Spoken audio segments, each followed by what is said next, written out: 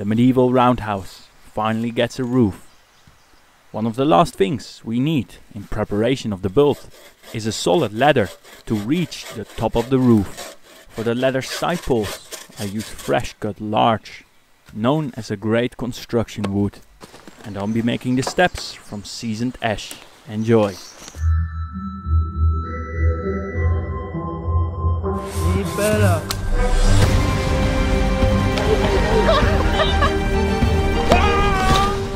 Goed. Take care about nature.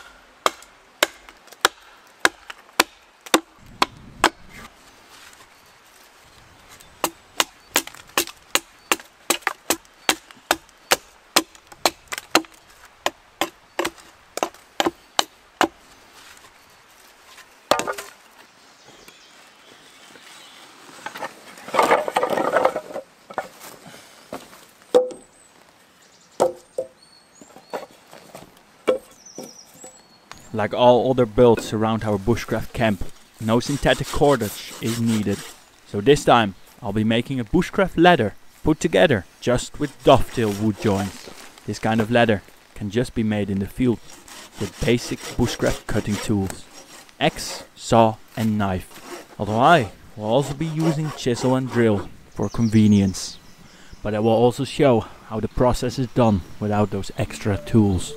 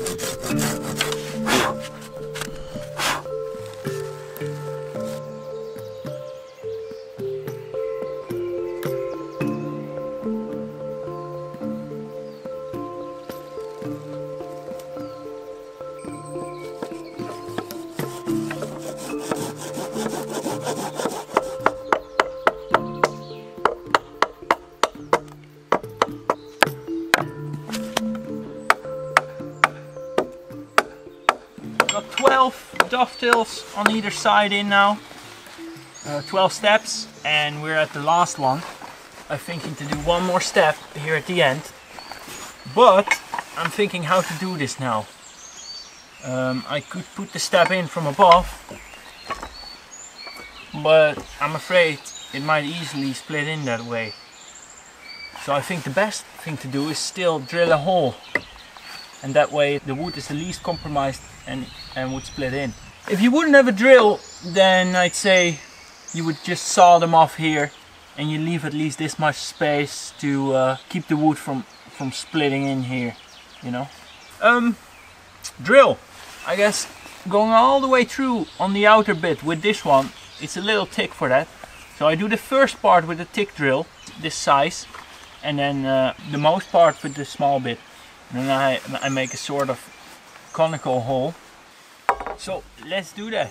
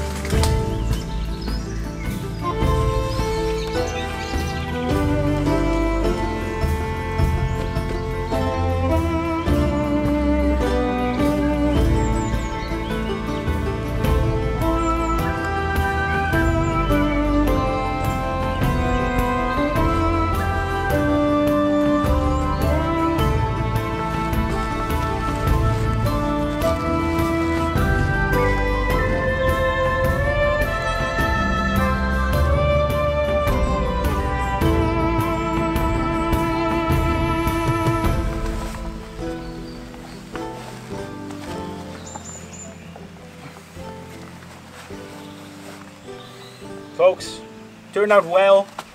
Ladder with dovetail joints, 13 steps. Uh, this one has six of them. Seven, seven steps. So much lighter. Um, it's a hustle to carry this one around, but it should just about be doable.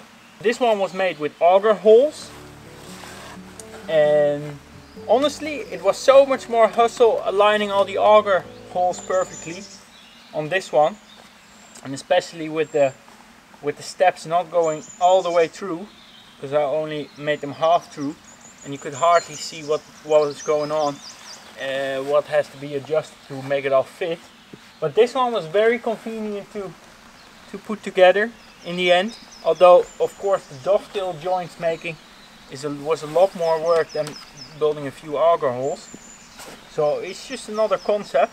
In the end, maybe this might be stronger and sturdier.